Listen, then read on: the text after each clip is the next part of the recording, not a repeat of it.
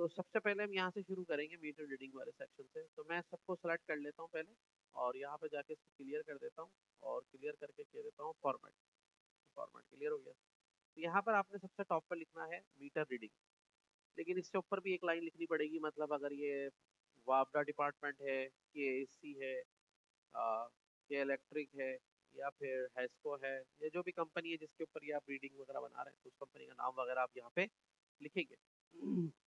उसके बाद यहाँ पे मीटर रीडिंग आ गई बिलिंग मंथ लिखा आ गया।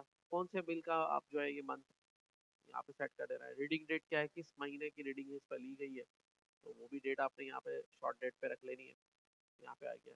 अब इस डेट के भी मुख्तलिफ़ स्टाइल से जो आप इस पर अप्लाई कर सकते हैं। एक तो शॉर्ट डेट और एक लॉन्ग डेट है और यहाँ पे क्लिक करेंगे तो यहाँ पे और स्टाइल आपको नज़र आएँगे डेट में जाके कि अगर आप इस तरह देखना चाहते हैं, आप अगर इसको इस तरह से देखना चाहते हैं तो जो स्टाइल आपको अच्छा लग रहा है वो आप यहाँ से इस पर अप्लाई कर सकते हैं तो फिर ये आपको वैसे दिखाएगा। तो मुझे लग रहा है कि यही स्टाइल सही है। अब यही स्टाइल अगर इस वाली डेट पर अप्लाई करना है तो ये फॉर्मेट पेंटर यूज़ कर लें। ठीक है? अच्छा अब उसके बाद यही सिलेक्ट करेंगे पहले सबसे टॉप पर, और यहाँ पे जाके आखिरी कॉलम तक इसको रख करेंगे मर्ज एंड सेंटर ताकि बिल्कुल सेंटर में आ जाए। सेल स्टाइल्स में जाके इसको टाइटल करेंगे बोल्ड करेंगे राइट साइड पर अलाइन करेंगे। और यहाँ पे आप देखेंगे तो ये इस तरीके से आपका साइड पर नज़र आ रहा होगा। और इसके अलावा इसको सेलेक्ट करेंगे बिलिंग मंथ को तो merge and centre and then इन दोनों को सिलेक्ट कर लें या फिर हाँ इन दोनों को सिलेक्ट कर लें मार्जिन सेंटर इस तरीके से। फिर इनको ऐसे सेलेक्ट करना है कि ये जो नीचे वाले हैं, खाली इनको मार्जिन सेंटर करना है। सेलेक्ट करके भी मार्जिन सेंटर करना है।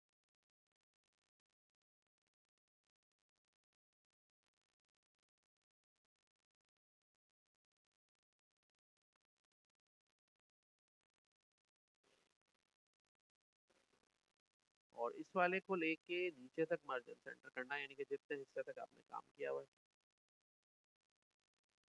फिर इसकी डायरेक्शन को चेंज करने के लिए यहाँ पे क्लिक करना है।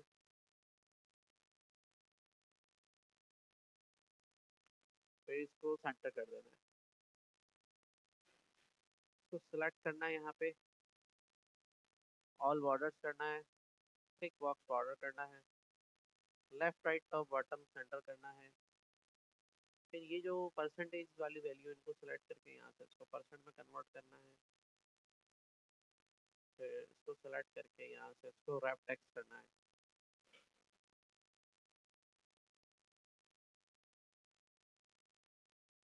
फिर सेलेक्ट करके इसको यहाँ से लेके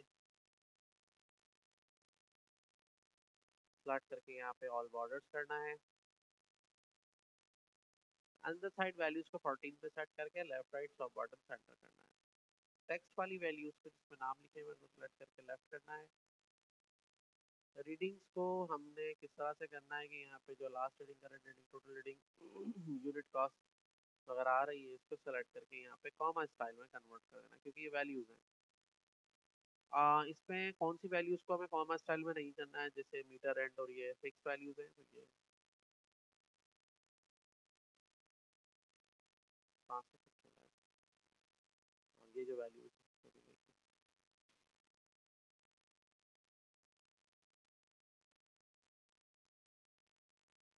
डेसिमल वैल्यूज़ की ज़रूरत नहीं है, इसलिए इनको हम यहाँ से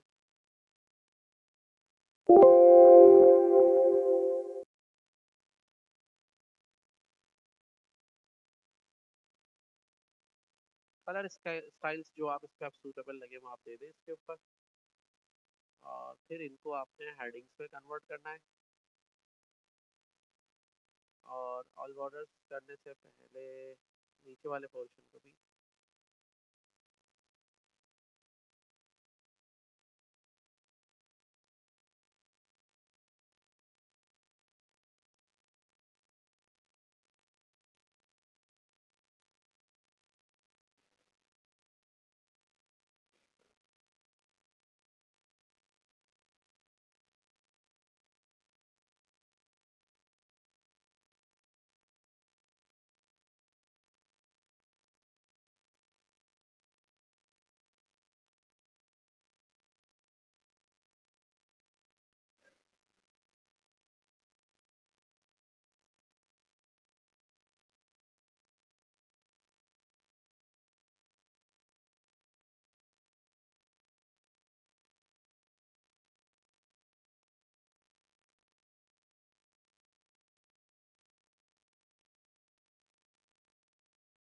इस तरह से जाके आपका ये कंप्लीट मीटर रीडिंग का सेगमेंट हो जाएगा।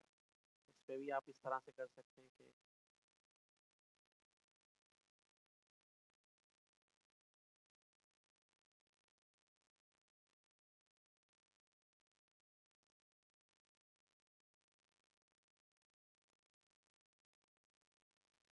ठीक है तो ये पूरा डिज़ाइन मीटर रीडिंग का आप इसमें इस तरीके से क्रिएट कर सकते हैं और फिर हम जब इसमें फार्मूलाज अप्लाई करेंगे तो हम सिर्फ़ इस पोर्शन में डेटा को इंटर करेंगे इससे पोर्शन में।